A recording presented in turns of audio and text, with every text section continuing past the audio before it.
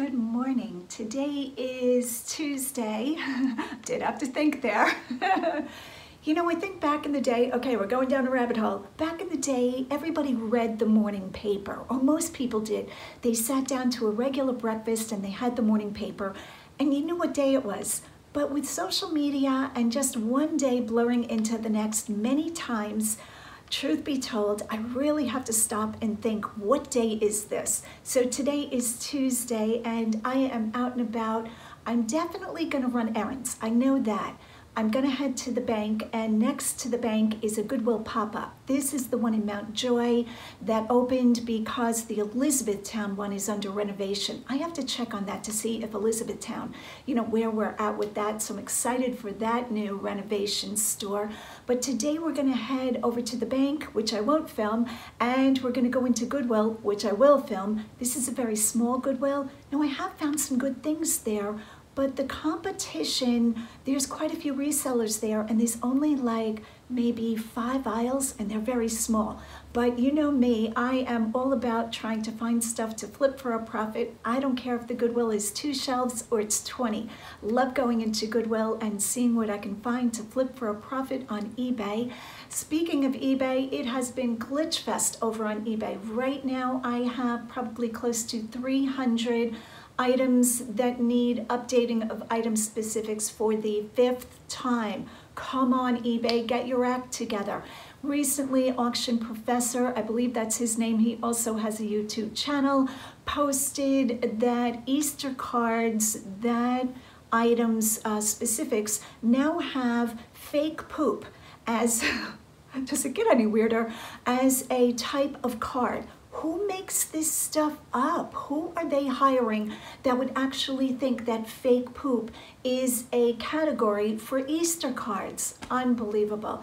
But my items need to be updated once again, but my sales are picking up, so that's good. I am on it, I am listing, and what else is happening? So far, no baby bunnies to be seen in the front yard. Not quite sure if the mama has left the location because I'm in and out so much, or the babies just aren't born yet. I have not looked into what the gestation period or what, what goes on with that put it on the list of things to do. All right, we're gonna hit the road. Well, we're not gonna hit it, we're gonna get on it. And we're gonna go to the bank. I'm going to the bank, you're coming with me to Goodwill. And then there's a slight chance, so then I'm stopping home. All right, let's backtrack. Goodwill, then I'm stopping home to upload the footage so that a video can get into production mode. To produce one of these videos, all in all, it takes hours and hours between from the time of planning it, making notes, filming it, downloading it, uploading it, editing, putting it on YouTube and launching it. I'm gonna say it's gotta take at least 10 hours and a lot of that is my daughter Lisa editing for me. So if she ever quits on me, I am in deep trouble. I will learn it. But um, okay, and then after that, after we come home and upload the footage, then I might stop at Roots Flea Market. The flea market is today.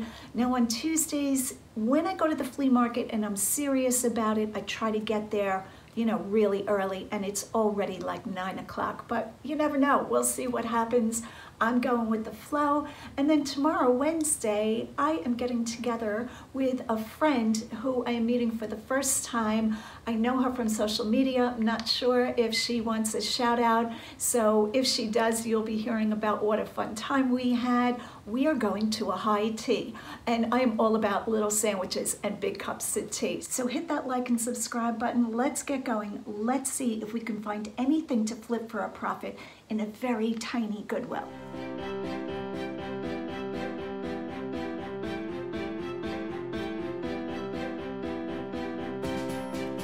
I am just about to pop out to Goodwill, but I wanted to show you guys these three rose bushes that I had planted. I think this was last year. Look at the blooms on these. This is a knockout rose, and I think this is called popcorn and they are just so happy. So I always like to share with you guys little snippets of what's going on around here, and these are making me super happy. Love those. No beetles yet, no nothing, no diseases. Look how healthy. Do we love these? Yes, we do. And on top of it, I didn't know that they would have a scent, and they do. So this is just a really great pick. And what I love about them is when the rose is not quite open, it's just plain yellow. And then when they open, it gradually goes whiter and whiter, just like popcorn. Okay, let's hit the road. Let's get serious. it's one of those days where every little thing is just catching my attention. All right, guys, let's go to Goodwill. Okay, guys, we have our mask on and we are just about to go into Goodwill. This is the Goodwill. I'm turning the camera around next to Isaac's. This is what the shopping center looks like. Down there, there is a new Stauffer's grocery store. Really, really good. And this is what's around here. So let's go in and see what we can find to flip for a profit.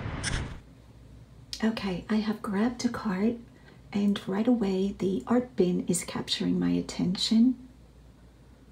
Any pieces that have a large amount of glass, I really have been avoiding. Even on Facebook Marketplace, they're not selling as quick as I'd like. So at this point, I'm either buying prints and removing the frames and glass if I think the print alone is worth it, or I'm trying not to buy framed pieces with glass. If the glass is like plexiglass or plastic, I still go ahead and pick them up. I did love those blue painted frames. Those were very pretty. But right now, I just make pretty much a beeline for the hard goods. Now this store, like I said, is a temporary location, but I'm really hoping they make this a permanent location. Every time I come in this store, it's very well attended, so I imagine they're doing well. I did get here shortly after the store opened, and I am the only customer, which is my ultimate dream. Some people want to win the lottery. I just want to win going into thrift stores and being the only customer. It's just so much more of a relaxed situation. Here I'm finding this eagle statue, and on the bottom it says that it needs gluing, that the base is loose. Can I just say how much I appreciate when the employees you know, make little notes of what's wrong with an item rather than buying it and getting it home and finding out there is a flaw.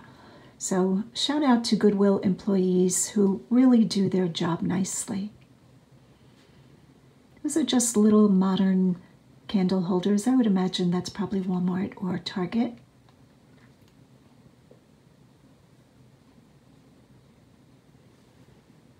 I think I'm just going to show anything with a bunny for the rest of my life, so if you don't like bunnies, I apologize.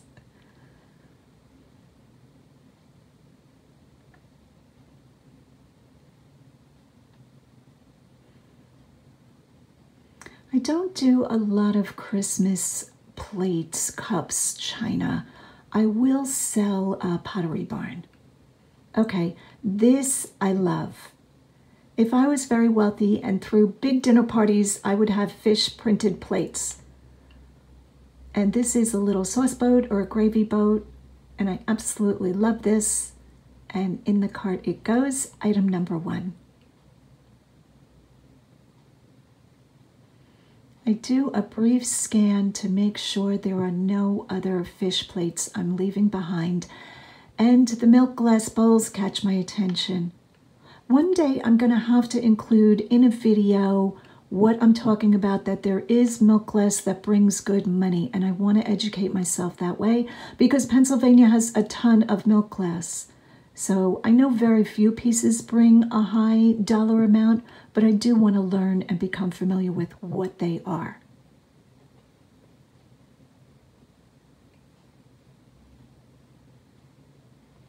This next item caught my attention, this bin of hats. Now I'm showing this gross hat because I don't pick up hats where there is a lot of sweat on the banding, even if it's a good brand. I don't have time to be deschmutzing hats. Here I found a grouping of different illustrations. This looks like maybe a local artist, and I thought they were very good. Now they were priced individual and this store does not alter its prices too much. Like if you brought the whole group up and said, hey, I'd like the whole group, could you give me a price? They would make you pay the $2. But I do put them in my cart to consider it, but I wind up putting them back because there must have been about 15 of them and I didn't want to pay $30 for them. Every time I see Herbal Essence, good memories. I was a girl of the 70s and used Herbal Essence in my hair. I had like the Farrah Fawcett haircut with the bell-bottom jeans. So I always look at any kind of Herbal Essence shampoos. These are just a cardboard print, but I always take a look. I don't buy a lot of Norman Rockwell anything, pretty much not so much. And that could be a mistake on my part. But I can only learn a certain amount about, you know, all the different niches, genres. So I don't pick up a lot of Norman Rockwell, definitely not the plates. And I could be leaving money on the table, but you have to choose your battles. I brought this little eagle statue or figurine forward because I wanted to show you that first one very poorly painted, the second one painted a little bit better, but I felt that these were just plastic resin figurines and it was a votive candle holder. Would it have sold? Maybe, but I don't think you'd get more than 10 or $12 for that. And I have a lot of low price points going on in my store right now for all of the items I'm receiving free. So if I receive something for free, I'm fine with a smaller price. So like I mentioned, this is the location in uh, Mount Joy. Small store, but I usually can get at least a half a cart here. This was a trinket box. It was nicely painted, but the name of it was Design. I've never heard of a company called Design. This vase caught my attention. Now I do need to run a comp on different items, especially ones from China, more modern. I kind of liked the jungle monkey uh, different cat print. So I do put that in my cart and a couple of aisles down, I run a comp on it and the comps were not there. That vase would have sold for about $10, $12. Here's the typical amber glass. I'm kind of over that unless the glass is a beautiful color or, you know, it's beautiful carnival glass, then I go ahead and run a comp.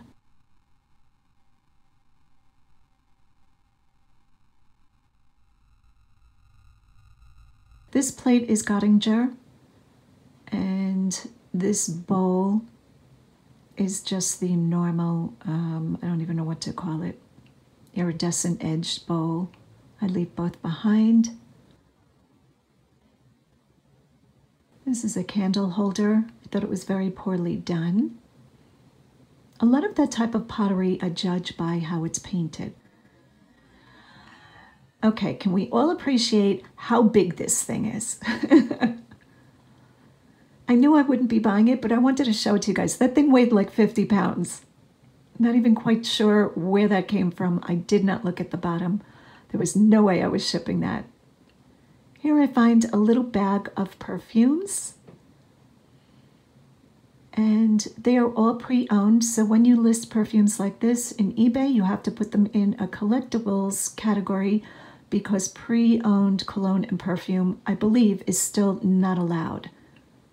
This is a beautiful pink glass bowl. I didn't really think it had that much merit, so I do leave that behind. I liked the big lips. Caught my attention, but not for resale. I was really hoping this wasn't anything. Could you tell how heavy that was? And true enough, it was not anything. Came from a discount store, I imagine Ross or something like that. It was a little bit older and it did have damage. There was chipping on the handle and chipping on the paint inside. I do make myself look at everything though, because this is all part of the education. And I'm not quite sure if somebody painted that. It looks like it was the original paint and just chipping off. Maybe they had a plant in there. Bells. I never buy bells. And that's all I've got to say about that. Okay, I might buy bells. One time I bought a Fenton bell. Little figurine, definitely not high quality.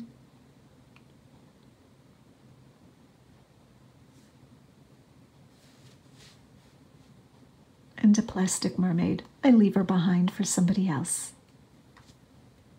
So I guess this is their brown aisle. Anything that can organize me, I do take a look at. This is a bamboo flatwood tray. And I really don't need another one, so I force myself to put it back. These birds were interesting, but see the way the peg is shoved into a hole for the beak? Nope. I'm definitely not about that. The birds I like to pick up, a lot of them aren't marked because they're hand done, so I judge it by the quality of the construction, the carving, and the painting.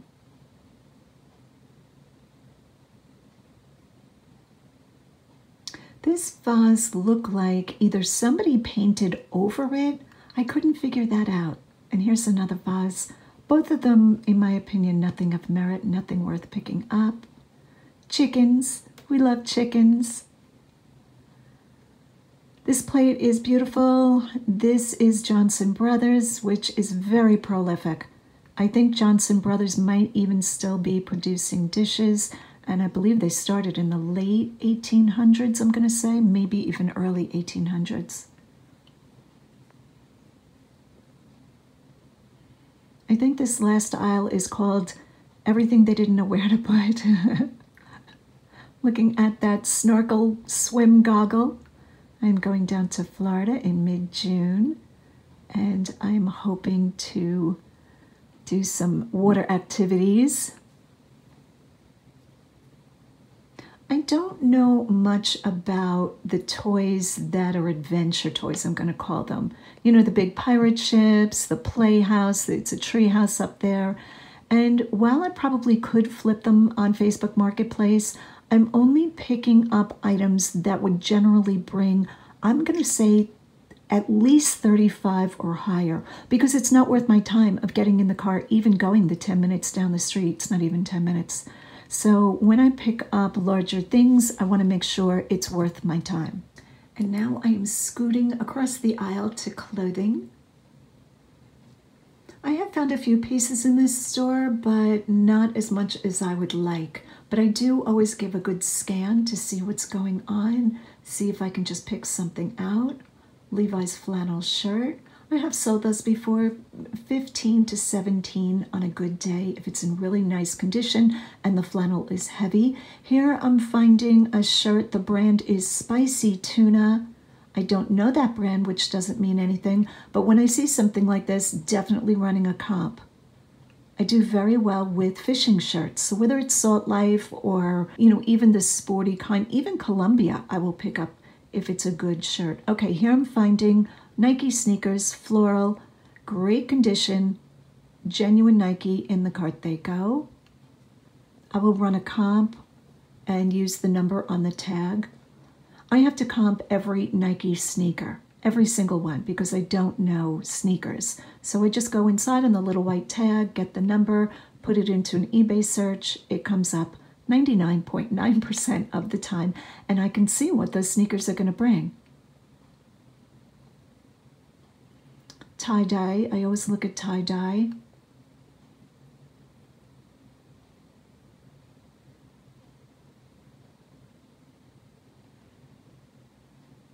The shoes in this store are fairly good. Okay, this is a pair of Crocs. I think in my whole reselling career, I might have sold two pairs of Crocs. I don't know where the disconnect is. I know you can get some pairs that bring very good money, but I really don't pick them up. I was looking at these Sandals, $7 I felt was a little high. If I would have found those for a dollar or two, I would have picked them up. Okay, when I just felt that boot, that's a variation of the tap test. that's how I feel leather. Right away I see quality, N-A-O-T. Not quite sure how we say that name. I'm going to have to put that into a Google pronunciation. Nayat, that's how I'm to pronounce it. It's probably wrong. Those go right in the cart. I have sold that brand before. If Alfred Dunner ever becomes a thing, I will be wealthy. I find more Alfred Dunner. This is the Soul to Soul Tim McGraw Faith Hill shirt. I didn't imagine this was worth anything. There must be a million of these out there, but I do put it in my cart to force myself to run a comp. Sometimes I get lazy about running comps. Okay, these Merrell sneakers, very good.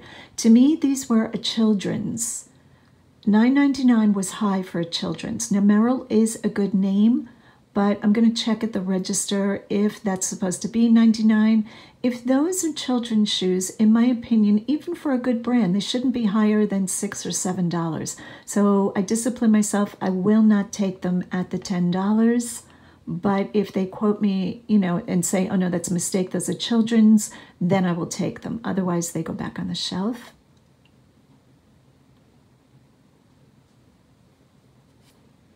And here I begin to look at books and artwork. The color of this caught my attention right away. I wasn't sure what they were from afar, but it is Disney. Pretty sure Frozen, right guys? This is Frozen. Don't know my Disney stories. It was framed in Michaels, which that kind of framing is better framing. It's a little bit more expensive, so somebody really cared about these. And I start to realize I'm probably going to pick these up if it's a low enough buy-in price. Sure enough, $2.99. What I love about something like this is that if you have a buyer that is buying one, good chances if they're decorating with this style, they will search your store for what other ones you have, or in each listing, you can write something a little vague about please check my store for additional listings, something like that. I don't know that we're allowed to say um, or put a link for another listing. eBay used to have a rule against that. You had to be very vague about it. I don't know if that has changed. But the Disney pictures are framed with a very recognizable frame. So I see two more right away. They're all in great condition. And they have glass. I hate shipping glass, I really do. It's like my number one thing to hate in this business is having to ship glass. But we put it in the cart because look how cute that is. I'm getting so old. Cute things just grab my heart. I think this will make some child or adult very happy. So as you can see, I picked up a golf instructional course, Cybervision. And I put another one in my cart, also Natural Golf. Everything was included. Again, I have to run comps on something like this. I do notice there's a very small amount of videotape on the video, so I'm not quite sure what that's about. Were they trying to make it look like it was more of a thing than it was? Those spools were almost empty. Very strange.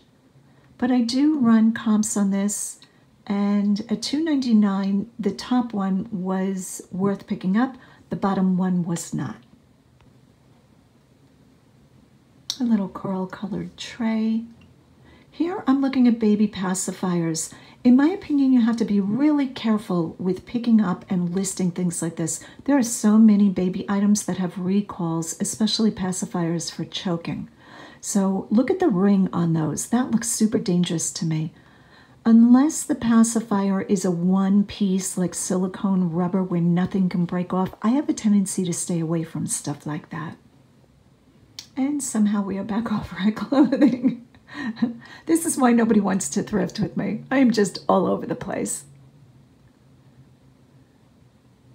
This naturalizer. I don't sell or pick up a lot of naturalizer. I forgot to run a uh, check on that one. Obio?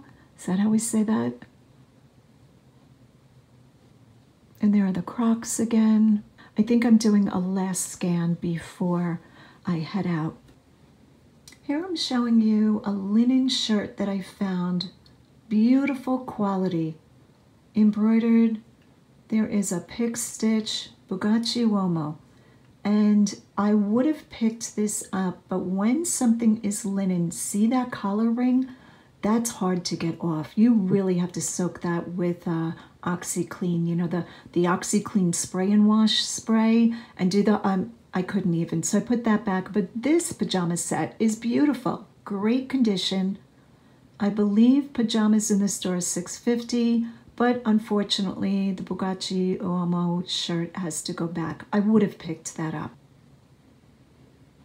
Here I'm finding Psycho Bunny I like this brand. I think it's funny. Now, I think I've found Psycho Bunny in men's clothing. I don't know if they make women's clothing. They must. This, to me, is a boy's size. I didn't even look at the size.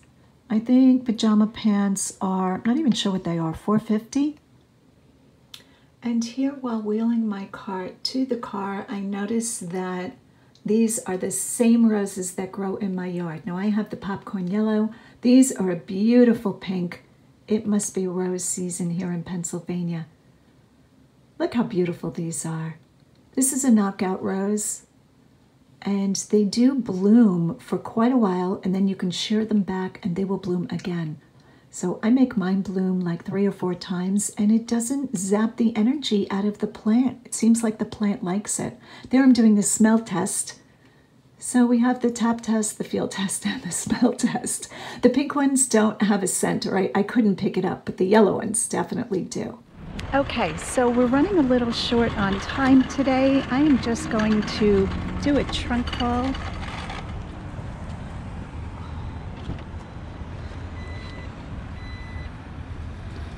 And we could just take a look at what I bought right here in the trunk.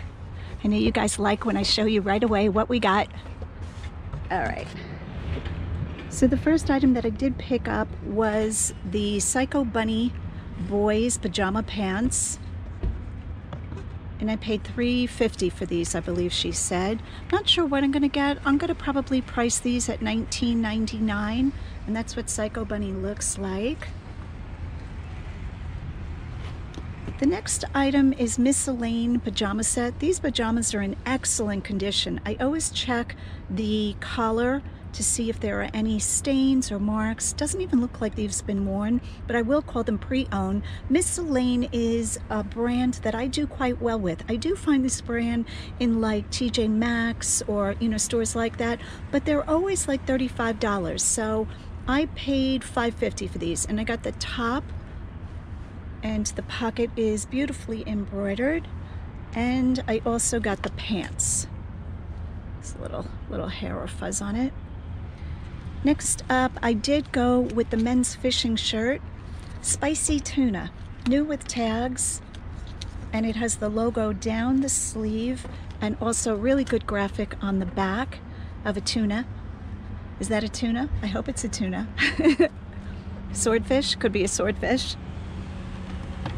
So out of the two instructional um, training courses, I went with the Neuromuscular Training Golf. This seemed to have better prices, better comps, and it is a VHS and cassette. Seems like everything is here and in great condition. I paid $2.99 for it. I'm not quite sure what this is going to bring. I'm thinking probably $30, $35. I did pick up the Disney pictures that are professionally framed. So that is what it looks like. It has the date of 2011. So uh, I paid, let's see where the sticker is. What did I pay? $2.99 for these. And it was framed at Michael's in 2012. So I got one, two,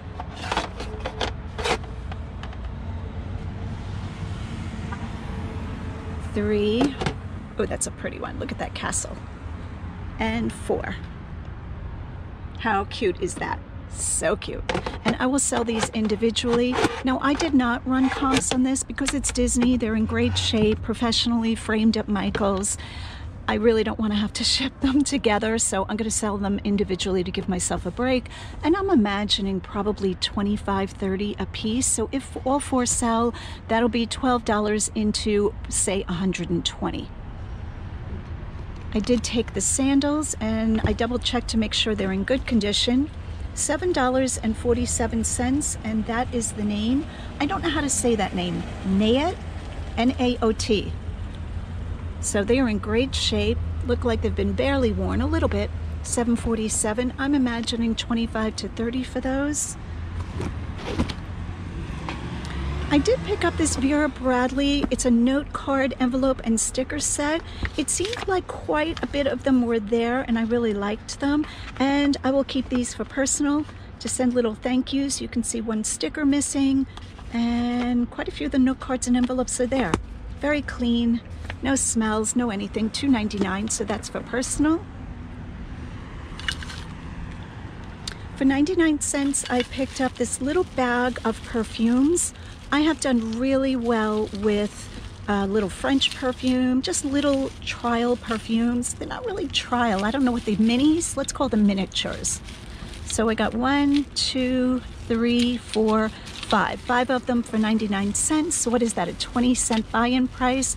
I might lot this together and sell it for, I'm gonna check comps, but 19.99. So that would be great profit, turning a dollar into 20. And the last item that I took were the Nike shoes. I did pay up for them a little bit, nine. $9.99. Is that what it says? Yeah, $9.99. I got scared there for a second. I thought it said $19.99.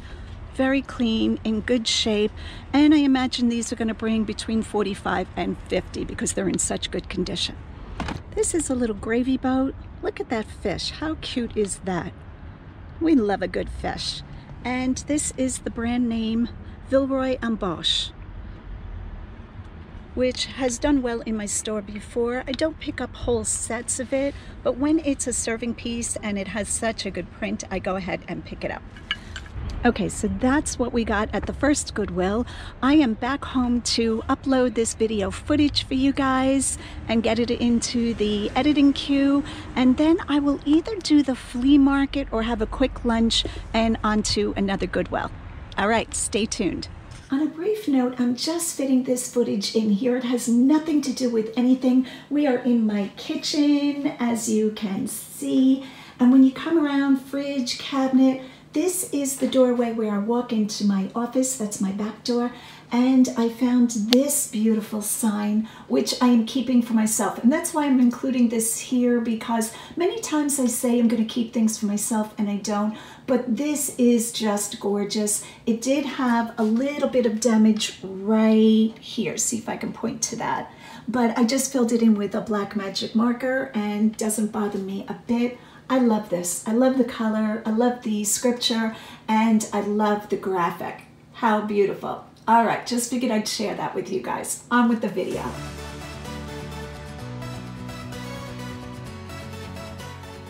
In this part of the video, we're going to go over a few items that have sold through on my eBay store recently. Now, I usually share solds and report back to you guys with what things are selling for over on my Instagram, Lavender Clothesline. So if you like to see what type of prices I'm getting for different items, you can follow me over there.